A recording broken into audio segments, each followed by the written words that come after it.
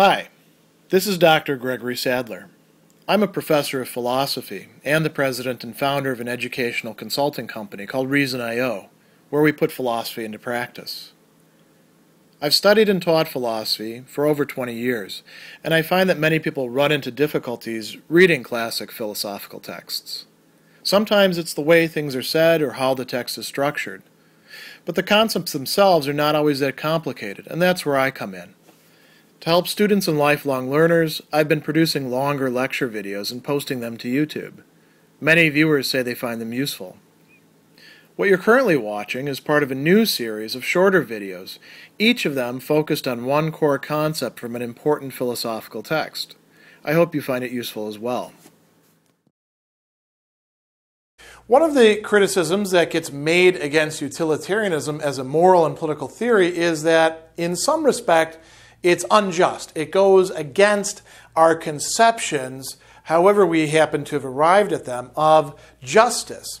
So there would be a disjunction between the, uh, as Mill says, the just or the moral and the expedient and the useful. This is uh, quite a, a common misunderstanding in his view of how utilitarianism, particularly the kind of utilitarianism that he himself is advocating, and he, which he takes Jeremy Bentham, the originator of utilitarianism in the Western tradition, to have also been articulating. The basic idea in his response is to say that justice is really a way in which we think about what has the most utility, and we give it a particular emphasis, one that uh, allows us to engage you know, the state or, or other uh, ways of sanctioning involved in, in punishing to protect uh, something that's of great value. And, but what's of great value in this case? The utility, that is, the benefit uh, maximized as much as we can across the, the system of all, and the harms minimized as much as possible, again, for the aggregate of human beings within the community. So the question is does utilitarianism conflict with justice? And Mill is trying to say that no, it really doesn't, but we have to see why that's the case.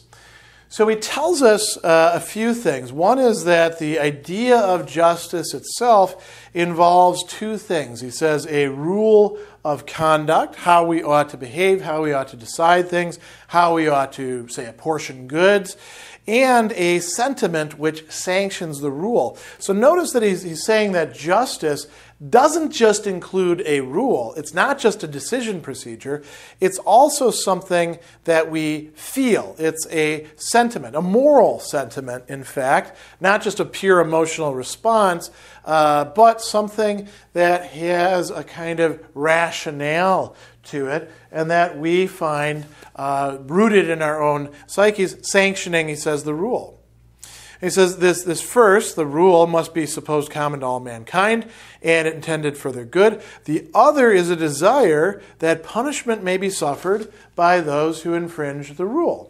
And Mill is a very, you know, uh, typical enlightened man of the 19th century, but he still thinks that there is some need for punishment in this, in this, in order to have justice.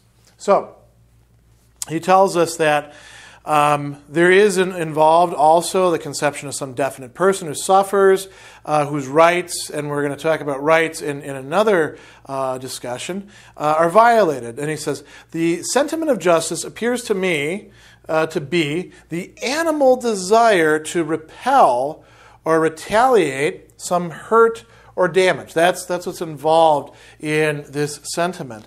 And then he says, how does this play out? And, and again, if we think about this in utilitarian ways, uh, this, this makes a lot of sense.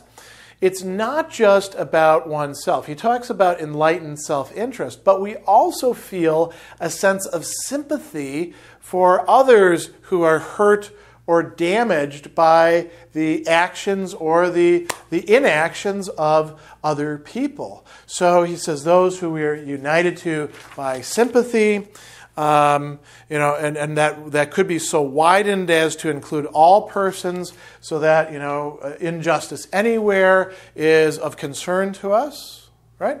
That is what he thinks is involved in the very notion of justice. Now, is this compatible with utilitarianism?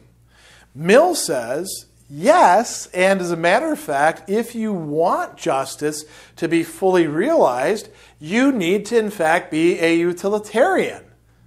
This is a, a, rather controversial position to take in his own time and indeed even in our own, because it seems that there could be some things that the utilitarians would be for that might be unjust. So Mill then attempts to provide some sort of argument for why it is that justice itself realizes a greater utility, and that's why, in fact, we, we should uh, recognize and, and involve and include justice within utilitarianism.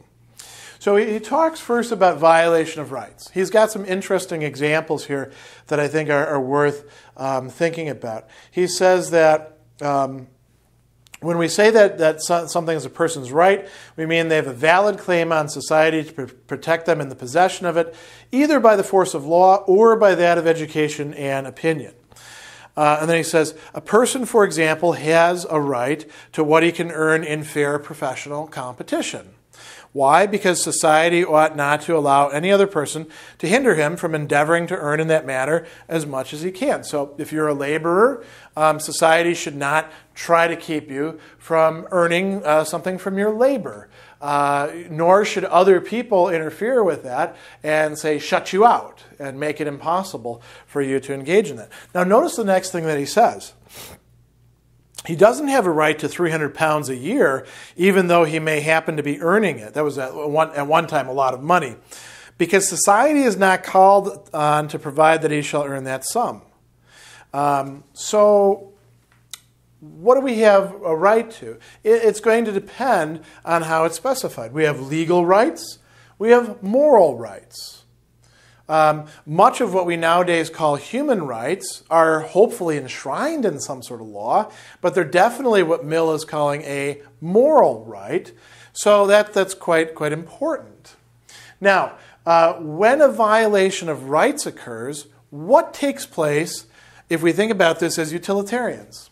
There is definitely a trade off in pleasures or advantages and pains and disadvantages between the person whose you know, rights are infringed. Obviously, uh, there's some sort of hurt or damage to them, but perhaps somebody else benefits from it. You know, maybe if we think about, you know, something like the right of eminent domain, right? We say that it's okay for us to take people's property because, you know, the government could use it for, for something. That's not the only justification of it. And if that really was the only justification, Mill would say you're not entitled to, to have eminent domain. Why? Because overall, when rights are violated, there is a lowered utility across the board. Why would that be the case? Mill says that this is because we can no longer count on our own rights not being violated when somebody else's rights are being violated with impunity. We lose security, and security itself is part of a, a, a good. As a matter of fact, if you think about how utilitarians calculate pleasures and pains, one of the key components of it is how likely it is that we're able to enjoy and continue to enjoy that pleasure. So he, he goes on and he says, um, the interest involved is that of security. To everyone's feelings, the most vital of all interests. All other earthly benefits are needed by one person, not needed by another, and many of them can, if necessary, be cheerfully foregone. Security, no human being can possibly do without if we depend uh, on if we depend for all our immunity from evil and for the whole value of all and every good beyond the passing moment. If we cannot rely upon society, the social fabric, the, the individuals who we're associated with, not to violate our rights, we have a dramatic lowering of utility.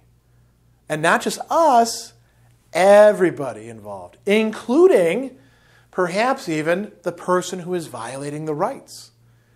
Because they can't count on other people not doing the same thing to them. So, what does this mean? This means that if we consider justice in, in terms of maintaining or respecting rights, we do so because of the higher utility in maintaining or respecting rights. Justice and utilitarianism turn out not only to be compatible, but to require each other. He also talks about equality and impartiality. He says this is very important to people as well, right? What happens if we show partiality? Let's say we engage, you know, in a society where there's lots of corruption. It's great for the people who are able to benefit from it, who can bribe their way into whatever they want. How does everyone else feel about it? They think it sucks. They're like, this is this is garbage. And so there's there's an overall negative utility to that. But um, what's going to be particularly important here is where this impartiality comes from. So he says, this is an obligation of justice, right? It's a necessary condition of the fulfillment of other obligations of justice. Um, and he says, you know, you could try to derive it from the notion that everybody should get what they deserve. If everybody's more or less the same, they all deserve more or less the same thing. So if somebody is not, say, a criminal or a chronic abuser of the system, then they deserve for the system to look out for them just as much as it does for anybody else. We should, and if you're part of that system, you know, making judgments, well, then you should make those judgments impartially. You should treat equal cases equally, right? Not, you know, give your neighbor a break and punish the people who live down, down in a different part of town. Or make, the ba- make a judgment based on gender or race or religion or any of the other things that, that we, we think divide us. Mill says, well, that's kind of true, but there's really a, something else that we derive equality and impartiality from the greatest happiness principle, which is intrinsic to utilitarianism. He tells us this great moral duty rests on a deeper foundation. It's, it's an, an emanation from the first principle of morals. What is that? It is involved in the very meaning of utility or the greatest happiness principle. He says, this is the, the doctrine that um, unless one person's happiness is supposed equal in degree, uh, is counted for exactly as much as another's. This is, this is intrinsic to utilitarianism. You're supposed to be impartial. You're supposed to treat equal cases equally. That's what the whole moral theory requires. So, again, it turns out in this case that not only is utilitarianism not incompatible with justice, it is going to lead to justice.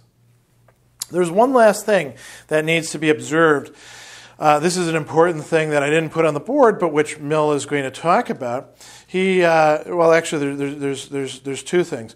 One is that he's going to say that um, what we mean by, by justice, he says, is certain social utilities which are vastly more important and therefore more absolute and imperative than any others as a class. That is why we want to have not just the rule of conduct, but this sentiment that sanctions them. That is why we don't want to back off on insisting that justice be done and injustice be punished. Because if we were to do so, we would actually violate the greatest happiness principle.